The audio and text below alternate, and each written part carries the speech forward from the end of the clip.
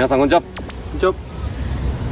今回はゲストの藤井真一プロとプロ3人で備中高原北房カントリークラブを攻略していきます。最後までご視聴のもと高評価とチャンネル登録よろしくお願いしおます。願いします。それでは今回も始めましょう。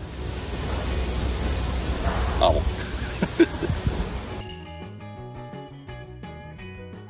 はい。187ですなんか右は広いけど左はちょっと暗くなってるけど、まあどっちも広いよ。185今度は4アゲンストが強いんで4番200ぐらい飛ぶ4番ユーティリティで打とうと思います。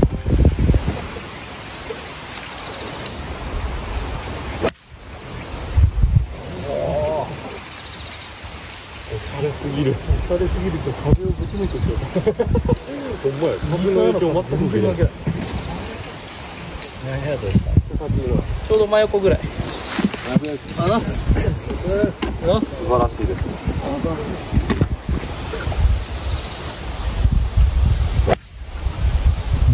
はあこれ5番やで。風がどうやらだいぶ強い右からっぽいんやけどそうで。すね。で。も旗は左なので。あんま右からないなうん、なんで。ね。195ぐらい打つ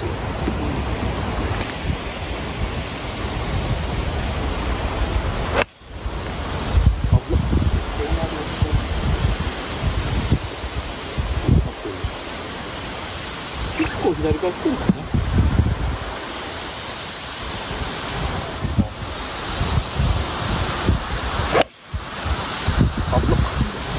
まあ僕もミストップですけどちょっと量押さなかった球は抑えなダメでしたね藤井さんみたいにそうね、ちょっと強い感じで。上上がったら結構持ってかれるやつですね。5番で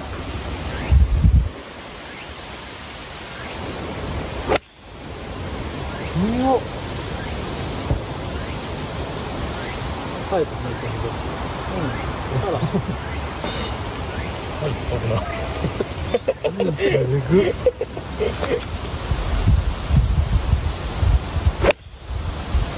強っサイズえぐい G プロはおうち農家もやってはるんですよねそうもともと農家でこの45年忙しくツアー回ってるんですけど、それまではセカンドとかで落ちちゃってたんで、はい。結構畑とかも手伝ったりとか、ねいいトレーニングでしたけどあ玉ねぎ1000本1日で植えたりした時はもうあの 股関節決まってましたね。しゃがんだ方が動きやすいみたいなあもんちゃんもいちご農家ですからねなんかプロゴルファーマーにこう挟まれた僕みたいな。感じだと思ってあー両手で行きたいな俺に両手があったらな56で。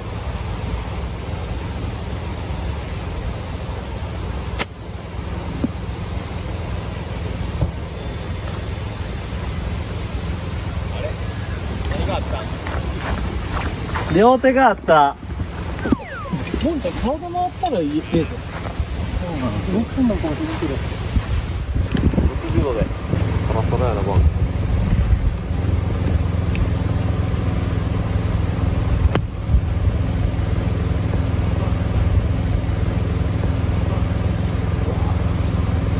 のグリーンは柔らかいなうまく打てたと思う。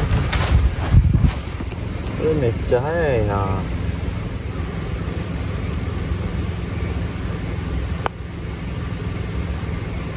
えんちゃんえんちゃん来た。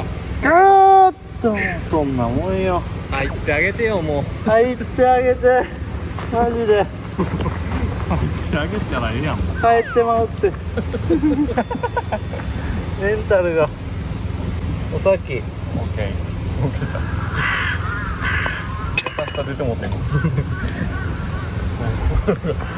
ッケーって言いたがってた俺上りのフックで最後ちょっと左に下る14メーターのバーディーパットで最後グーっていってちょっと左に下る。で5カップぐらい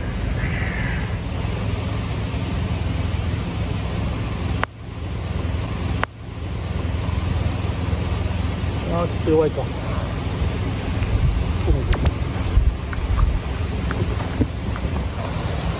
こだ。あっ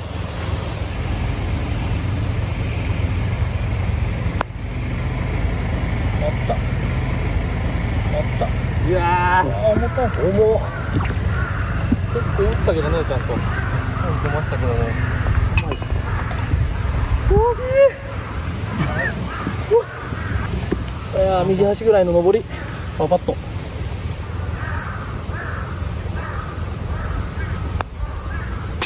うんナイスパー。はいやな。危な風を切り裂いて乗ったのが効きました。あれは。先切れじゃないとあかんかったなここ。あの球打ったらあれ2番目とわからんやん。けど悩むよでも僕もそれ打ったらよかったんですよね。なんか綺麗に行こうとしすぎました。ね刺身で騙されたな今のはいやサイズが強すぎてサイズ強すぎたサイズだってもうキャーイとかやるのまだ俺には早かったそうやね。だってもう5番やのにドライバーみたいな打った瞬間マジ奥突き抜けるこのこのこの木が7ぐらい。で奥は285ぐらいだからあの木だけちょっと10ヤードぐらい手前に入るんですかね。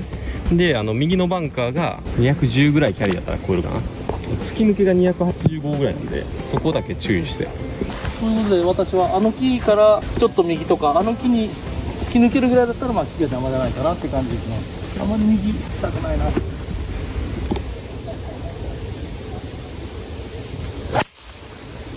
ああ引っ張った。わおちょっと苦労したんですね。どうした涼介さん。いろいろ嫌がったな風がねなんか分からないんでもしフォローやったらスプーンでも突き抜けそうなんでちょっと 2U でいきます。もうちょっと昔から荒れ気味なんで一旦ちょっと落ち着きまし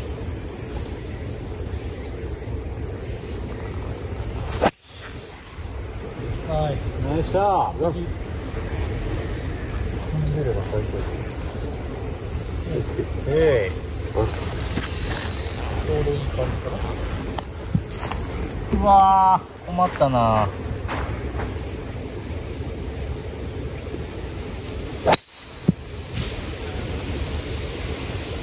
セーフ？セーフ？答えて。セーフやと思う。セーフっぽい。だって見てくるわあっかんわからんくなってきた。え？ちょっと待って。スイングわからんくなってきたぞ。ダウンスイングわからん今日はダウンスイングわからんタイプ。前バックスイングわからんタイプの問題ここ来た瞬間どこどうなんだろう220ぐらい。はい。いいよ7で。オ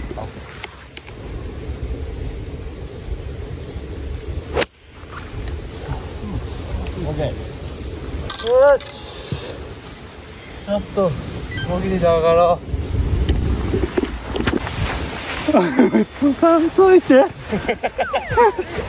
かるよ。その気持ちわかるよ。俺も悪い時スタンド両親こうちゃん頑張って。なかなかスライサーと回ることがないのか。惑わしてる惑わしてますね。それだけじゃないだろうけどなかなかちょっと惑わすお互いギャオやギャオギャオギャオえ俺それそうやちょっとちゃう2段目2段目なんか1回なんかやってたあ藤井さんこれかこれですねちょっとうわーこれはちょっとよっしゃ言うてるよっしゃ言うてるわほんま悪い人やでだから8打つね。出しますちょっと突っ込んだ方がいいぐらいかな多分ステアップしますはいあ低く低くなったね176ヤード6番アイアンでちょっとフルショットがおかしいんでハーフショットします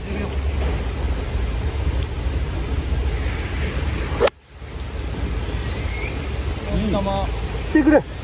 行ってくれ。よっしゃー。よし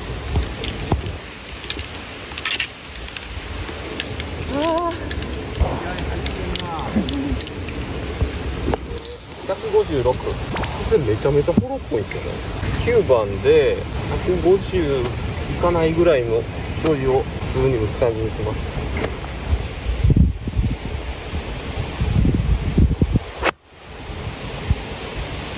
いいよえっとおいナイス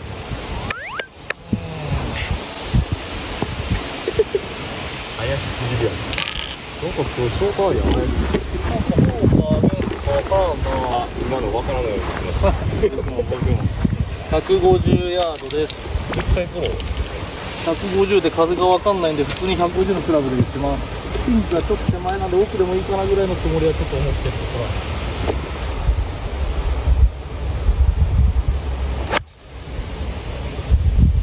かけた。オッケーはい、無難なボギーだ。惑わされちゃったな僕の9番アイアンのローボール。俺もティーショット惑わしちゃった。ティーショットはねあなたが一番惑わされてます。俺に惑わされて藤井さんやっぱ左打ち込んじゃったよ。あーあの3番目で言ってましたけどねもんちゃんいやーでもちょっと僕の言い訳させてもらうとちょっとフェアウェイが長くて。ガツっていったら絶対フライヤーするんですよ僕あのライン。なんでちょっとさらっと打ちたいなーとは思ってたんですけどこの辺でね。思ってたんですけどまあその通りになっちゃいましたね。僕がちょっと上手すぎて。まっすぎたな。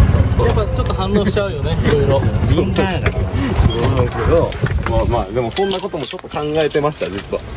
でもまあ、これで藤井さんの場合とかも、結局、パーパッと打つことが大事なんで、えー、僕のもちょっと気になったけど風が気になりましたねなんか。ちょっといいんじゃないかなとか思い思い。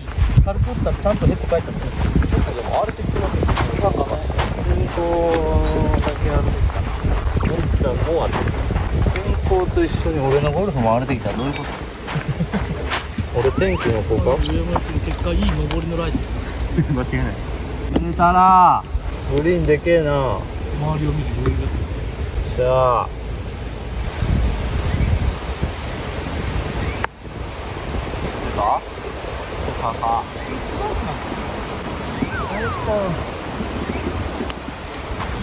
ナイスだよ。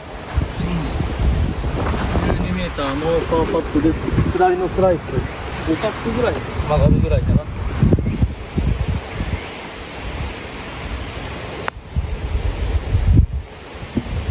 ってるなこれ。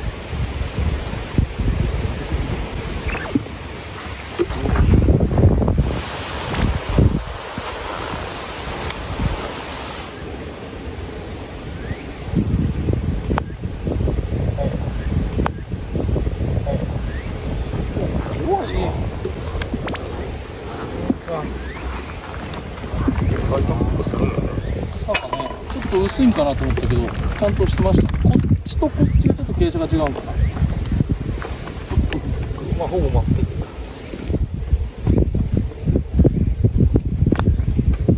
オッケーイェーイナイス。危ない危ない。危ない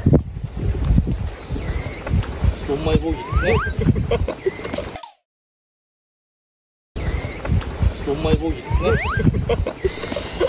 ですね。おじいちゃん、俺、おじいちゃんウエスト高っ。足長っ。オッケー。